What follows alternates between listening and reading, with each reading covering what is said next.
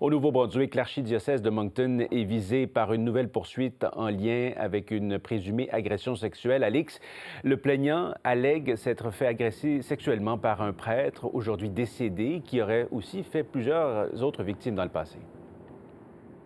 Voilà, Alexis, il s'agit du prêtre Camille Légère de la région de Capelé qui a été au cœur de plusieurs histoires, de plusieurs témoignages d'allégations d'inconduite sexuelle impliquant des personnes mineures dans la région. Euh, donc, un homme de 70 ans a déposé une poursuite au civil à la Cour du Banc du Roi. Il allègue que ce prêtre l'a agressé à quatre reprises lorsqu'il avait 14 ans. Ça s'est passé dans les années 60. L'archidiocèse de Moncton qui dit avoir eu connaissance de cette poursuite mais n'a pas encore présenté de défense. Et donc, on l'évoquait, c'est pas la première fois, Alix, que l'archidiocèse de Moncton est confronté et visé par des histoires de genre.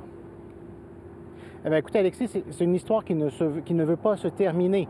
Euh, depuis une douzaine d'années, différents hommes de la région de l'Acadie, du Sud-Est et aussi du Nord, qui ont sorti sur la place publique dénoncé des agressions sexuelles alléguées qu'ils auraient vécues lorsqu'ils étaient mineurs. Ça a fait un tollé, un documentaire. Certains noms de prêtres ont été retirés des espaces publics. Mais on avait annoncé cet hiver peut-être la fin de cette saga qui a duré plus d'une décennie lorsque le diocèse de Moncton avait annoncé un dédommagement de 5,4 millions de dollars pour différentes victimes de différents prêtres. On espérait alors que ce soit le moment où l'on puisse enfin tourner la page, mais comme en témoigne cette nouvelle poursuite, il y a de nouvelles victimes qui brisent le silence, mhm. de nouvelles allégations d'inconduite, des personnes, bref, qui veulent justice pour des, des blessures qui ne sont visiblement pas encore guéries. D'autres chapitres qui s'ajoutent à cette histoire. Merci beaucoup, Alex Villeneuve, pour tous ces détails. Au revoir.